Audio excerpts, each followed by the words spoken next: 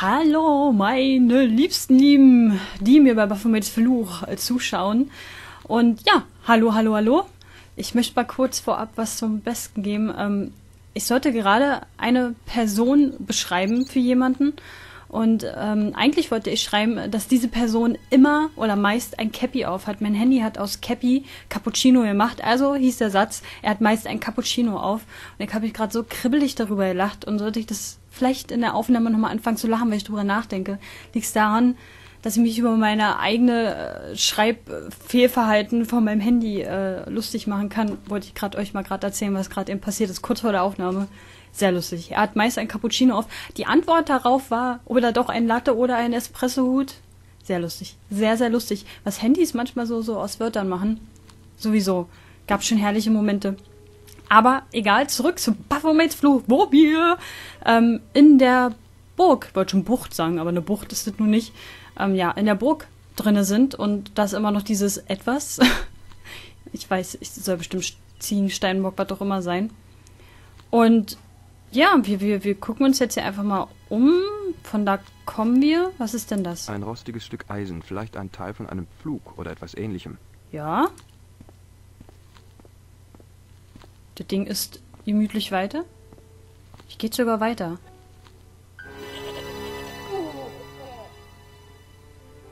Der Strick, mit dem die Ziege festgebunden ist, hat sich in der alten Pflugschar verheddert. Oh nein! Eine Ziege. Wir müssen der Ziege doch helfen. Auch wenn die George jetzt umgehauen hat. Aber vielleicht war das genau das Richtige. Vielleicht hätten. Alter, aber die Ziege macht ja einen schönen Dreck, muss ich sagen. Mann, Mann, Mann. Was macht denn die Ziege hier unten? Die können wir jetzt nicht mehr machen. Ich denke mal, hätten wir vorher das hier gemacht, wäre die Ziege bestimmt zu uns gerannt gekommen und hätte uns hier auch umgeboxt. Gehen wir einfach mal da runter. Ich glaube, mehr können wir hier gar nicht machen. Aha.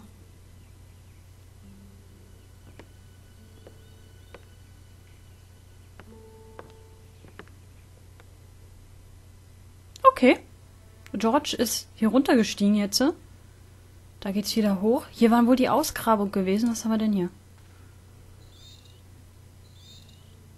Okay. Sieht aus wie ein... Ich denke mal, es sollte vielleicht ein Tempelritter darstellen als Statue. Oh Gott, oh Gott, was können wir denn hier halt mitnehmen? Eine Statue, die von ihrem Platz an der Wand heruntergefallen ist. Aha. Fünf Steinfinger ragen aus der Rückseite der Skulptur heraus. Da, ne? Die Statue ist zu schwer. Ich kann sie George. nicht hochheben. Sie verliert das Gleichgewicht und fällt in den Sand. Na klasse. Heb sie wieder auf.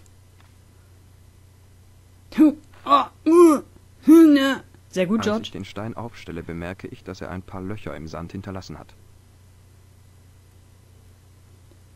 Aha, jetzt könnten wir eigentlich... Ich stecke meine Finger in die fünf Löcher, die der heruntergefallene Stein hinterlassen hat.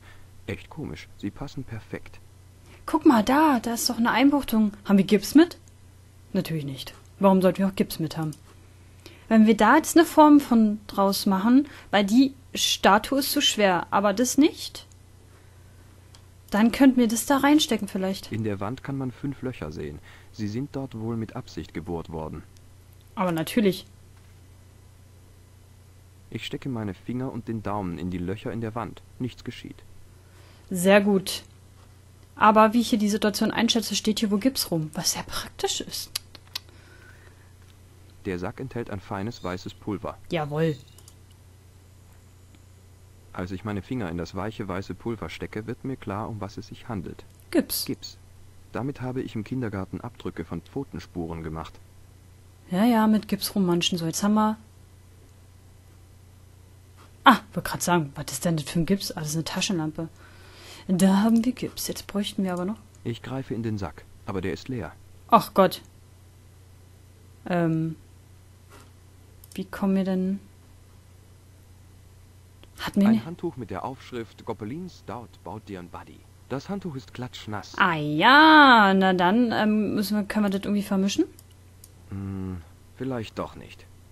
Da, oder dann machen wir das mal anders. Gucken wir uns nochmal das Ding an. Was ist das hier? Können wir uns das auch gerade angucken? So. Dann pack erstmal vielleicht den Gips da rein.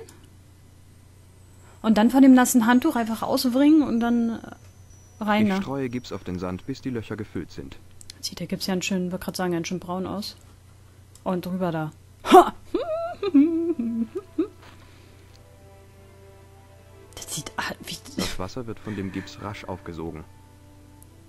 sehr gut. Ist bestimmt schon trocken. Vorsichtig hebe ich das hart gewordene Stück Gips aus dem Sand. Na klar, Auf Gips der Rückseite wird bildet immer es eine sofort perfekte hart. Kopie der Statue. Hallali, hallalo. Ich würde sagen, ach Gott. Mann, Mann, Mann. Geht voran. Was? Ne, Die ausgehärtete Gipsform passt perfekt in die fünf Vertiefungen. Man hört ein leises Klacken, dann ist Ruhe. ha. Ich bin mal gespannt, was dahinter ist. Das sieht ja nett aus. Zum Glück haben wir eine Taschenlampe mit.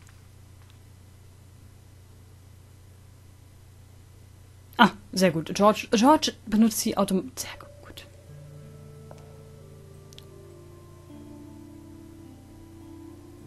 Montfaucon.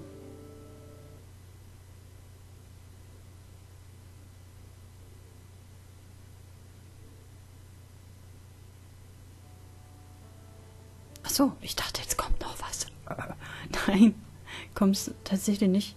Da blinkt was. Wir haben einen. Nein, ich mache nicht diese Anlage an. Ähm, wir haben einen Anrufbeantworter. Also, wir haben einen. Wir haben einen Anrufbeantworter. Wir haben eine Nachricht. Hören wir uns die gleich mal an. Wollen wir nochmal Papi angucken? Ni Nico? Hallo? Nico möchte sich. Wir spielen mal wieder Nico. Hey! Auf dem Foto ist mein Vater zu sehen. Das erste Bild, das ich je gemacht habe. Mit der ersten Kamera, die er mir je gekauft hat. So, hören wir uns mal hier die Sache an. Jemand hat mir auf den Anrufbeantworter gesprochen. Diese Stimme. Sie haben drei neue Nachrichten. Drei. Hey, Kolar, ich bin's, dein Lieblingsredakteur. Rate mal, warum ich anrufe. Ich gebe dir noch eine Chance. Ich brauche jemanden, der die Fernsehspalte schreibt. Wird mies bezahlt, aber das kennst du ja. Wenn du Interesse hast, schau mal hier im Büro rein. Oder schau besser auf jeden Fall mal rein. Wir müssen uns mal unterhalten, Nico. Diese Story von dir, die ich abgeblockt habe, die ist noch nicht vom Tisch. Du hast dir da draußen ein paar gefährliche Feinde gemacht. Hallo Nico, ich bin's, dein alter oder eher dein neuer Kumpel George. Boah, Irland ist wirklich ein abgefahrenes Land. Ach, George. Und ich habe auch tolle Neuigkeiten für dich. Eine Riesenstory, genauer gesagt. Oh, ich muss los. So ein Typ hier will mir unbedingt einen ausgeben. Also bis morgen, Nico. Slan, da staunst du was? Erst einen Tag hier und schon spreche ich Gälisch wie ein Eingeborener. Mademoiselle Collard, hier spricht die Melda Carchon. Ich wollte mich noch einmal für Ihr Verständnis bedanken, als hätten Sie nicht Lust zum Essen vorbeizukommen. Morgen? Ich habe Ihnen viel zu erzählen. Heute Abend kommt mich ein Monsieur Merlin besuchen. Ach. Er behauptet zu wissen, warum Pierre ermordet wurde. Er müsste gleich hier sein. Ich Oh, werde Ihnen weia. erzählen, was er gesagt hat. Leben Sie wohl, meine Liebe. Bis morgen. Ja, leben Sie wohl. Merlin? Meine Güte, Merlin ist doch der Killer. Ich muss sofort hinfahren und sie warnen. Wenn es für Doppelzüngigkeit Orden gäbe, würde Imelda vom Gewicht der Dinger vornüber kippen. Und ich schulde ihr nichts. Aber ich kann sie doch nicht einfach sterben lassen. Absolut richtig. Auch, huh, auch wenn sie auch mit drinne steckt in Bei der meinem Eintreffen ist der Hof des Palais Royal verlassen. Ich kann nur hoffen, dass ich den Mörder hier erwische. Ich muss Imelda warnen, bevor es zu spät ist. Äh, mm, was machen wir denn jetzt als erstes? Was ist denn das hier alles? Ein durchschnittlicher Fixierungsdraht für moderne Kunst. Bevor wir hier irgendwas machen. Ich löse den ersten Draht. Was macht das? machst du denn hier, Nico? Wir wollen da E-Mailer waren. Und da sollten wir vielleicht zur Klinge gehen. Aber nee, Nico löst Drähte von irgendwelchen Kunststücken. Ich löse den zweiten Draht. Selbst als beide Drähte entfernt sind, bleibt die Statue stehen. Dann lehn dich mal gegen, was auch immer der bringen soll. Ja. Na, wo ist er? Bump. Jetzt ist es eine Leiter. Wenn ich das Ding auseinandernehmen kann, kann ich alles auseinandernehmen. Boah, Nico. äh, was machen wir denn als erstes? Mal zur Klingel gehen? Nico ist Hulk. Eine Türklingel. Die Sprechanlage ist außer Betrieb. Na, Schlechtes Zeichen. wunderbar. Jemand hat den Draht gekappt. Ach, warum bloß? Da will jemand ungestört jemand umbringen. Carchons Eingangstür. Mit einem frischen Kratzer. Ein Kratzer, der entsteht, wenn man ein Schloss aufbricht. Wenn ich richtig liege, dann erhält Imelda gerade eine Lektion von einem Pantomimen. Und dabei dreht es sich nicht um die alte Rolltreppennummer. Ach stimmt, der Pantomime.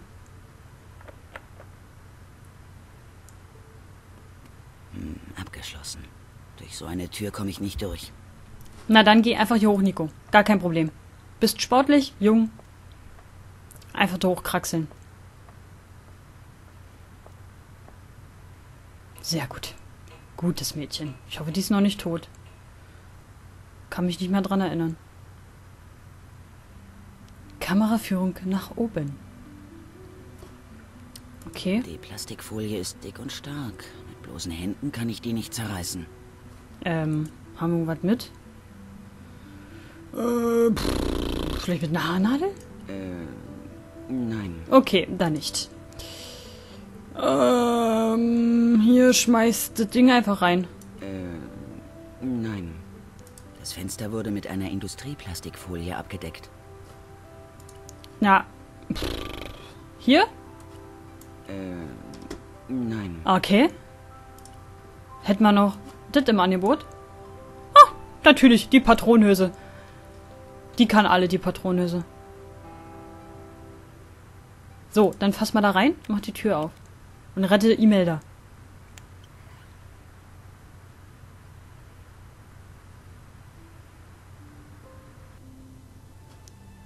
Okay, wir haben gerade was eine Notiz dazu bekommen. Oh Gott, hieß ja viel. Bin in Cachons Apartment eingebrochen. Ich würde eine großartige Einbrecherin abgeben. Das stimmt. Endlich auch Imelda. Was? Palais Royal, Imelda in Gefahr. Drei Nachrichten auf dem Anrufbeantworter. Mein Verleger war sehr besorgt über meine Geschichte und George rief aus Irland an. Betrunken. Naja, er hat ja noch mal ja nicht getrunken. Er war nur dabei. Mensch. Endlich auch Imelda Cachon. Sie sagt, dass ein Mann namens Morlan sie heute Abend besuchte. Das ist Kahn. Der Kostümmörder. Sie schwebt in schrecklicher Gefahr. Ich muss sie warnen. Dann auf, auf, meine Liebe. Würde mal sagen, die sind hier drinne, da wo Licht ist. Mein Gott, Ach hey. ich komme zu spät. Die sitzt aber noch sehr aufrecht für eine Leiche. Imelda! Oh nein, Nico, keine Bange. Das kommt schon in Ordnung. du weißt, dass das nicht stimmt. Es war Merlin, nicht wahr? Gekleidet wie ein Edelmann. Wie absurd. No. Bist gekommen, um mich zu warnen, nicht wahr? Ich muss verrückt sein. Lass dich ansehen, Nicole. Die ganze Zeit haben sie mich nur benutzt. Wer ist die wahre Imelda? Du bist ein außergewöhnliches Mädchen. Thierry wäre stolz auf dich. Sie kannten meinen Vater doch gar nicht. Du bist wie er. Vor allem die Augen. Das ist nicht Imelda? Ich wünschte, wir hätten mehr Zeit, um einander kennenzulernen. Sie ist tot. Sie hat mich belogen, betrogen und benutzt. Aber warum? Ähm, äh, Ruhe und Frieden und so? Das war nicht Imelda? Vielleicht war sie deswegen so kalt oder konnte so kalt sein, als äh, Cauchon gestorben ist. Jetzt ist also Imelda an der Reihe gewesen, ein weiterer Mord des Kostümmörders, Morlan oder Kahn, diesmal als Edelmann verkleidet. Die Polizei wird die Angelegenheit nicht untersuchen. Sie werden es vertuschen, so wie all die anderen Morde. Oder war sie doch Imelda? Das ist alles ja komisch. Da suchen wir. Selbst im Tode sieht Imelda unverändert aus. Schön, rätselhaft. Die Eiskönigin allein in ihrem Eispalast. Das ist ja doch Imelda. Mensch, Nico, was sagst du denn? Du bringst mich durcheinander. An ihrem Hals befindet sich ein Medaillon. Ich öffne es. Hui, Es enthält einen kleinen goldenen Schlüssel. der ist Silber. Ich nehme den Schlüssel. Ich muss gehen. Ich weiß, dass ich nie wiederkommen werde. Wie dramatisch. Und theatralisch. Oh. So, wir sind wieder zu Hause. Ich habe eine Vermutung, was wir mit den Schlüsseln machen können. Sie kannte unseren Vater. Sie wusste ungefähr, wer wir sind. Und dass sie seine Augen haben. Eieieiei. Hier, Kästchen. Na, nimm's. Diese Schatulle hat mein Vater geschnitzt. Es gab nie einen Schlüssel dazu. Ich glaub- Der Elefant auf dem Deckel ist das perfekte Gegenstück zu dem auf Carchons Kästchen. Ich glaube, jetzt hast du den Schlüssel. Jetzt ist auch golden. Ich nehme den Schlüssel raus. Der passt. Er passt. Ich kann es kaum glauben. Imeldas Schlüssel öffnet die Schatulle meines Vaters. Ich fürchte mich vor dem, was ich darin finden werde. Dann lass mich gucken. Ach, Imelda war auch mit dabei. Auf dem Foto. Ein Foto von Imelda. Aber warum hier? In der Schatulle meines Vaters. Da. Ich habe das genau. Gefühl, als ob mich ein schwarzes Loch verschluckt. Imelda und Carchon. Grinsend. Naja, Und hinter ihnen ein Dorf dem Erdboden gleichgemacht und die Bevölkerung abgeschlachtet wird. dein Papi guckt aber nicht so. Und da, Gut. gleich neben ihnen, schaut mich wie durch eine Zeitmaschine mein eigener Vater an. Aber nicht lächelnd, Ein Nico. Brief. Ich fürchte, jetzt kommt der schlimmste Teil.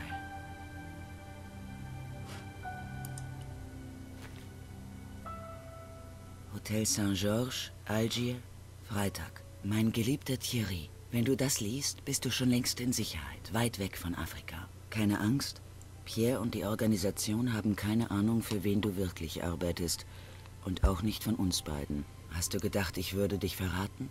Das könnte ich gar nicht. Du wolltest, dass ich ihn verlasse, aber ich war nicht so mutig wie du. Ich weiß zu viel über das, was hier passiert ist. Sie würden mich finden und uns beide töten. Genieße dein Leben in Paris, Thierry. Dein Leben voller Ehre und patriotischer Pflicht. Verleiht man Spionen eigentlich auch Orden? Wohl kaum. Du bekommst höchstens einen Tarnjob in irgendeiner Botschaft. Dieses Leben könnte ich nie mit dir teilen. Stell dir mich mal als Diplomatengattin vor. Darum muss ich hier bleiben bei Pierre. Wir beide sind zusammengeschweißt durch das, was wir diesem Land angetan haben. Au revoir, mein Geliebter. Du wirst für alle Zeiten in meinem Herzen sein. Imelda. Plötzlich ergab alles einen Sinn. Mein Vater hatte verdeckt für die Regierung gearbeitet. Er war also doch einer von den Guten. Ja, zum Glück, zum Glück. Ach Gott. Er und Imelda müssen sich ineinander verliebt haben. Sie fand heraus, was er wirklich war. Also musste er fort. Es hat ihr das Herz gebrochen. Aber sie hat es nie jemandem erzählt. Ich könnte das auch nicht. Was immer er auch getan hat. Er hatte gute Gründe, es geheim zu halten. Ich habe mich entschlossen, das zu respektieren. Und niemandem etwas zu erzählen. Okay, Nico, das kann ich verstehen. Mann, Mann, Mann, Mann, Mann. Ach Gott, ach Gott, ach Gott. Wen ruft sie jetzt an? Ich hoffe George. Oh. Am nächsten Morgen. Sitzt Nico immer noch so da? Das ist George. Ich weiß es einfach. Einen Moment lang bin ich versucht, so zu tun, als sei ich nicht da. Oder ihn zu bitten zu gehen und später wiederzukommen. Aber dann... Herein? Hallo, George. Wie kann man denn George nicht reinbitten? Wo bist du denn letzte Nacht gewesen? Bei McDavids. Ich habe mit Doyle und einigen anderen Burschen etwas getrunken. Deswegen siehst du so krank aus. Hast du auch noch eine Mütze Schlaf abbekommen? Nicht viel. Ich musste das Zimmer mit einem anderen Burschen teilen. Hat er geschnarcht? Kaum. Er war tot. Und du sagst, Pegram ist verschwunden? Ohne jede Spur. Aber mein Besuch hat sich dennoch gelohnt. wer war denn tot? Was? Wie? Pegrams Edelstein. Der Edelstein der Templer. Wer auch immer Jacques Marquet ist, auf ihn wartet eine Enttäuschung. Jacques Marquet? Er hätte den Edelstein von Fitzgerald abholen sollen. Was hast du für Pläne? Ich möchte herausfinden, wer, was oder wo Maupassant war. Alles, wonach ich mich richten kann, ist der Name und das Bild eines erhängten Mannes. Äh, mm, was, wie, wo, was? Möchtest du den Edelstein verwahren? Nein, George. Die Versuchung wäre zu groß, ihn zu verkaufen. Hier nochmal die Rolle. Schauen wir uns die Schriftrolle nochmal an. Oh nee, nicht schon wieder da. Da ist ein Typ mit... Sch- Zwischen ihnen steht ein, das ist doch der Edelstein bestimmt. Hier Schwert und so. Na, Schau, wir brauchen diesen komischen Lobino-Typen. Eine Frau sieht... Aber das... was hast du für Pläne? Ich möchte herausfinden, wer, was oder wo Maupassant war. Alles, Maupassant. wonach ich mich richten kann, ist der Name und das Bild eines erhängten Mannes. Das hatten wir ja gerade. Ich glaube auch nicht, dass wir hier Nico noch mehr zeigen können. Ich kann hier nicht den ganzen Tag herumsitzen, so gern ich das wollte. Jetzt haben wir sie Okay. äh, darüber Vergiss informiert. nicht nach Lobino im Museum Wollte grad sagen. Prüm zu fragen. Und warum schaust du nicht mal bei Rousseau vorbei, ob er was gehört hat? Okay, kann ich sonst noch was für dich tun, wenn ich schon mal unterwegs bin? Einkaufen, einen Trip in den Waschsalon? Pass auf dich auf. Okay, gerne. So, dann würde ich sagen, machen wir uns auf den Weg, aber alles erst im nächsten Part. Da gehen wir nochmal zur Polizei, zu Rousseau, suchen André Lobineau. Ich möchte so gern mit George über alles reden, was passiert war. Aber ich weiß, dass ich das nicht kann. Och. Die Verbindung meines Vaters zu Afrika muss für alle Zeit ein Geheimnis bleiben. Nur die Regierung weiß, wie mutig er war. Und ich weiß es auch. Es zu enthüllen würde nur seinem Andenken schaden. Die Leute würden die Geschichte einfach verdrehen. Ganz schnell stünde er als der Bösewicht da und Carchon als Held. Ich weiß, wie man sowas macht. Ich bin schließlich Journalistin. Aber Nico scheint George zu mögen, wenn sie ihm das gerne erzählen wollen würde. So, wir können ja uns schon mal ähm, Musée Grün, Café de la Chambre Verte, Rue Jarry, Poste Police. So. Oh, Rousseau ist gar nicht da. Mm. Aber dann suchen wir Rousseau im nächsten Part, gehen ins Museum und machen ganz viele andere Dinge, um hier voranzukommen. Ganz schön viel passiert in dem Part, ne? Mann, Mann, Mann. Vielen Dank fürs Zuschauen und bis zum nächsten Mal. Ciao.